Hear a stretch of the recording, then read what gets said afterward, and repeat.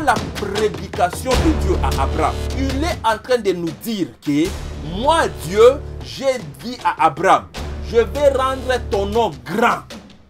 Ces choses, je suis. Dans la famille de la bénédiction, il y a la lumière, la bénédiction, la vérité. Il y a la lumière. Dans la famille de la bénédiction, il y a la bénédiction. Toi. Si tu n'as pas la foi, ces choses ne vont pas marcher. Ça ne marche pas parce que tu pleures. Non. Ça ne marche pas oh, tu es de crier. Non.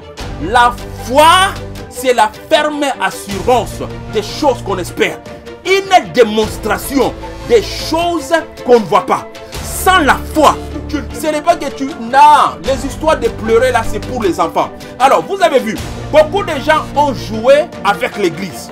Beaucoup de gens ont sauté, sauté, sauté à l'église. Sans jamais écouter la véritable parole de Dieu. Sans jamais donner les oreilles à la vérité de Dieu.